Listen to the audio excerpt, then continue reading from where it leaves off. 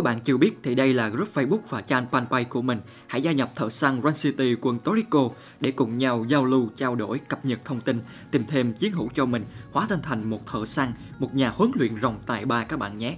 Mang tinh thần ý chí kiên định và sự đẹp trai, xinh gái, phong cách thanh lịch thì các bạn hãy ủng hộ luôn cho kênh phụ quân Torico News và kênh TikTok của mình các bạn nhé. Xin cảm ơn các bạn rất nhiều. Xin chào thân ái và quyết thắng Chào mừng trở lại với channel của mình Mình là Quân Torico đây Rất vui khi là bạn trong một video đặc biệt Run City ngày hôm nay Mà mình sẽ mang đến cho các bạn Các bạn có thể gọi đó là thử thách Quân Torico Vậy thử thách đó là gì? Thì đầu tiên các bạn có tự tin rằng mình là một Dragon Master Với khả năng huấn luyện rồng tài ba, Đưa những chú rồng chúng ta đi thực chiến, Có rất nhiều kinh nghiệm, tinh trường không?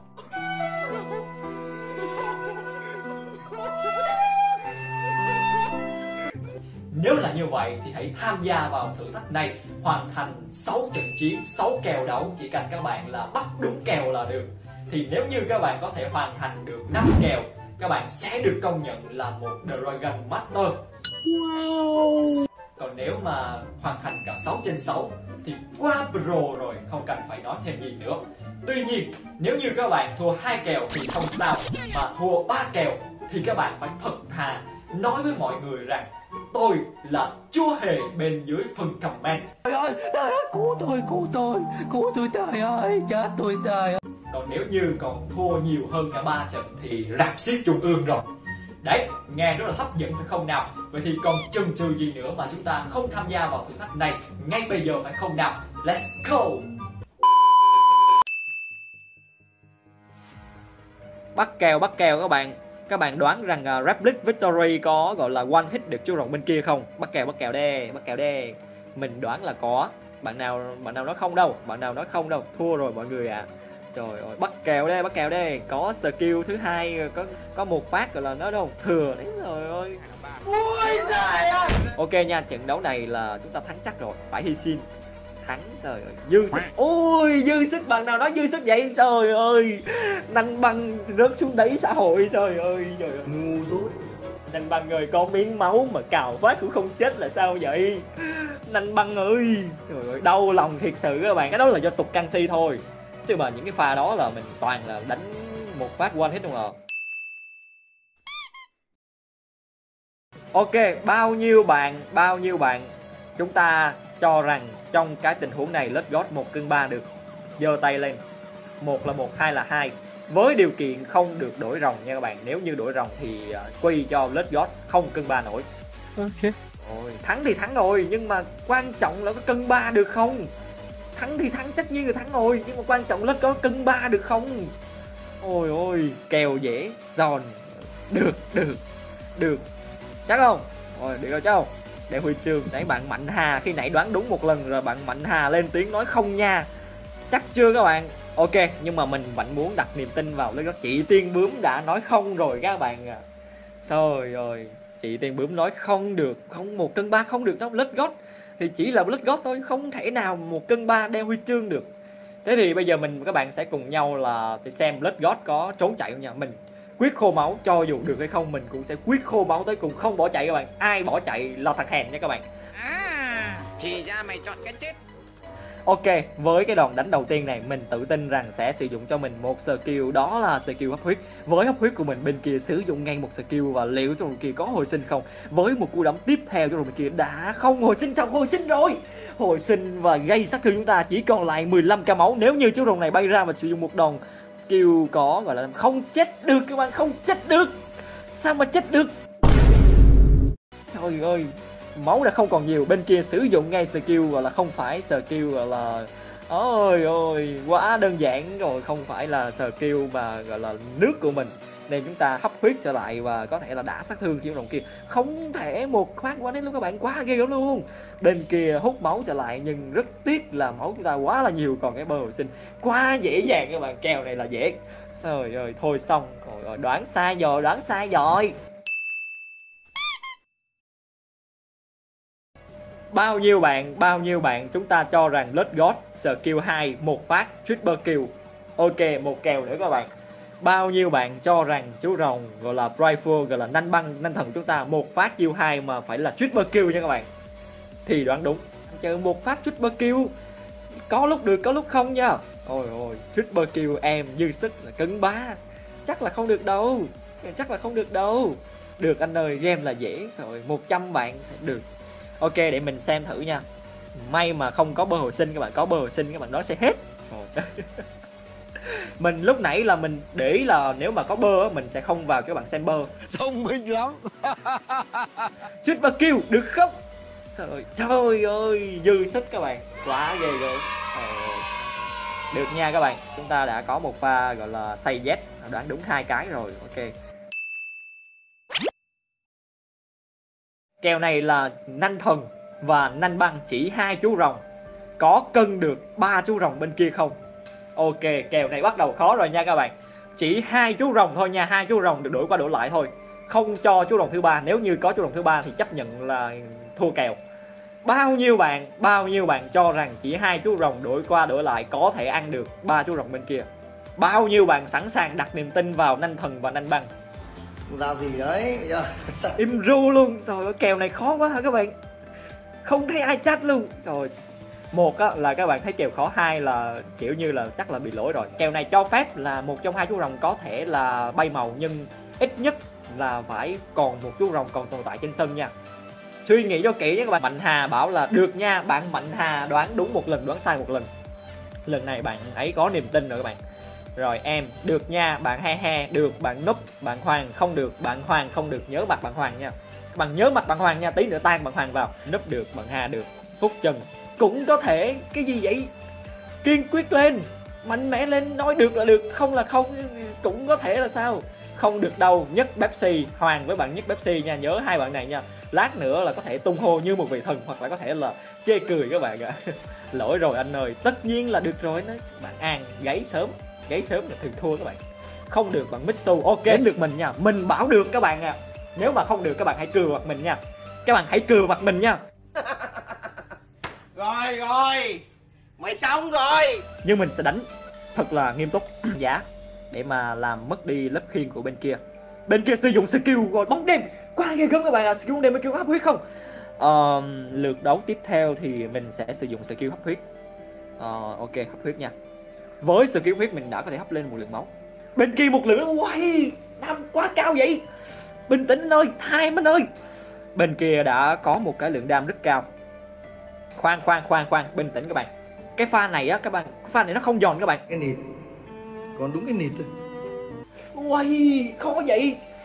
Một cái gì đó gọi là đã bắt đầu là thấy khó khăn cho quân Toriko rồi các bạn nha Các bạn bây giờ quay xe còn kịp nha. Các bạn bây giờ quay xe tới gọi là bóc vai cho bạn Mitsu Trần Rồi bóc vai cho bạn Hoàng với lại bạn ờ, nói Pepsi là còn kịp nha Ngồi bóp vai được nha các bạn. Không được, cái gì không được đâu. Nãy bạn An mới bảo là dư sức Là gì bây giờ không được đâu là sao? Bảo thua rồi, không đánh đến nơi, không được. Thắng rồi, rồi quay xe Hải, quay xe. Đấy mình biết ngay mà thấy cái tình hình này mới phân tích tí xíu mà các bạn đã nản lòng rồi. Ok nha đánh được nha. Đánh từ thôi đánh hai cho nó hấp dẫn các bạn. Kèo này kèo khó. Vô vô vô. Vô. Trời ơi không hồi sinh sao? Hồi sinh đánh một phát chết tươi các bạn ạ. Ôi oh chết tươi luôn các bạn. Hồi sinh lại với còn miếng máu luôn. Ôi ôi, lết gót lết gót lết gót tôi đâu rồi. Ờ, Ồ skill bóng tối nha. Mình nhớ, các bạn nhớ mặt nha, nhiều bạn quay xe lắm á. Để mình đánh thắng rồi các bạn đừng đừng bảo là, ôi, em đùa anh quân ơi. Tám 80 phần trăm các bạn quay xe các bạn. Rồi, bắt đầu thấy cái bạn, bắt đầu thấy cái gì chưa? Nãy mình thử lòng các bạn thôi. Rồi rồi, các bạn ơi mới thấy có đam một chút xíu mà sẽ mất niềm tin vào nanh thần nanh băng trong khi cái cái series này chúng ta gọi là chứng kiến sức mạnh của những chú rồng này biết bao nhiêu lần rồi các bạn ạ. Ôi ôi rồi rồi chú rồng có thể lửa không? Có thể lửa nha. Có thể lửa thì mình không ờ, gọi là sẽ không sử dụng ờ, chú rồng gọi là bên đây mà mình ờ, sẽ sử dụng là skill hệ lai gạch nha. Ok thì ờ, trong cái tầm này thì có lẽ chúng ta phải sẽ phải là hy sinh một chú rồng rồi. Ờm, rồi ok hồi sinh. Và sau khi hồi sinh thì uh, chúng ta vẫn còn một tên chắc chắn là thắng rồi nhưng mà chúng ta phải hy sinh một chú rồng nha các bạn. Ok, bên kia có skill hệ lửa mình có gọi là búp lên cũng vô dụng nên mình sẽ quyết chiêu sinh. Chiêu sinh bằng cách nào? Chiêu sinh bằng cách chúng ta sử dụng Replic Victory. Và một lần nữa chúng ta khiến cho lượng máu bên kia còn lại rất là thấp. Và cuối cùng thì chúng ta sử dụng uh, skill uh, ok và đây là skill cách liễu các bạn rồi ok. Thì như mình đã nói là hai chú rồng đánh và có quyền một chú rồng trong hai là hy sinh nhưng phải có một chú rồng còn sống. Có nghĩa là kèo này mình là người thắng. Trời ghê chưa? Ghê ghê ghê chưa? Những bạn nào mà chúng ta bảo thua và những bạn nào chúng ta quay xe là những người đã thua trong kèo này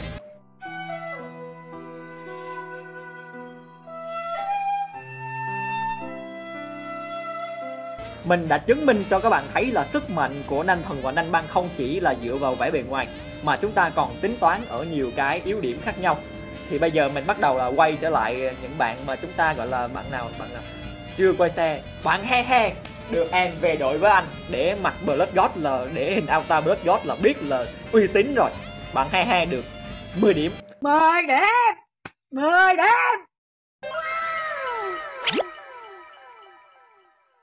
Bao nhiêu bạn cho rằng chú rồng thần đá này đam một phát chú rồng bên kia không hồi sinh? Toàn sự toàn thật rồi vui em mà bắt đầu đếm số. Đầu tiên là bạn Nguyễn Mạnh Hà. Bạn ấy bảo là hồi sinh được. Ok ghi nhận cái ý kiến bạn Nguyễn Mạnh Hà. Bạn ấy cũng là người mà gọi là hãy quay xe cho bạn ấy một cơ hội để mà chúng ta gỡ gạt lại nha.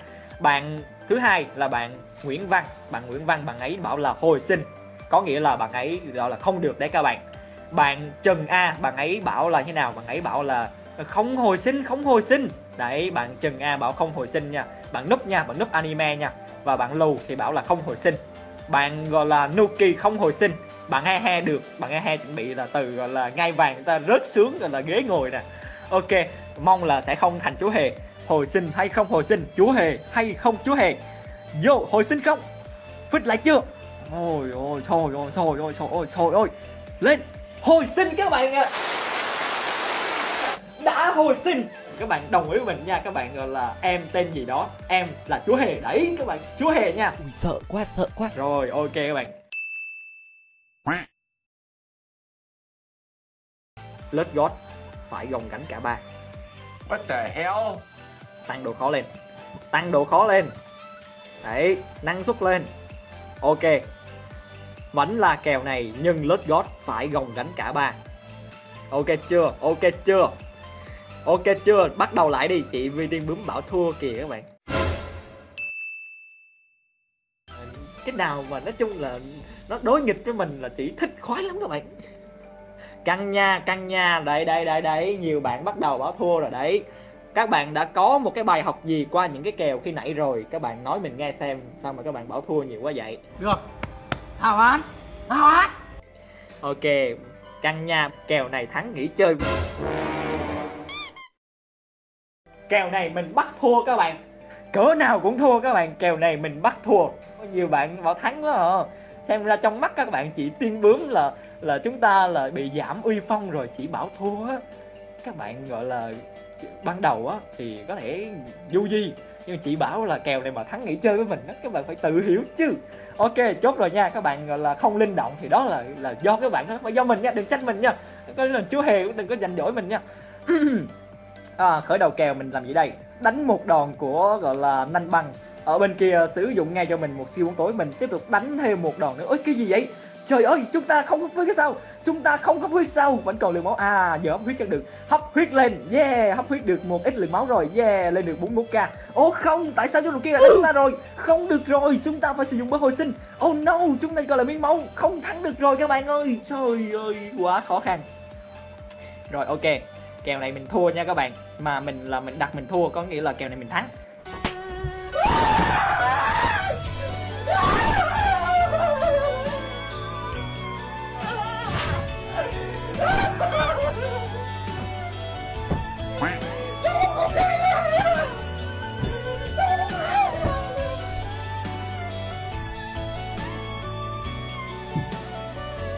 không tin tưởng chị tiên bướm đâu. Mấy đứa tin chị không? Trời ơi chỉ tạo điều kiện cơ hội cho các bạn hết làm chúa hề mà không tin chỉ rồi, thôi thôi nha, ai làm chúa hề làm hết đi nha.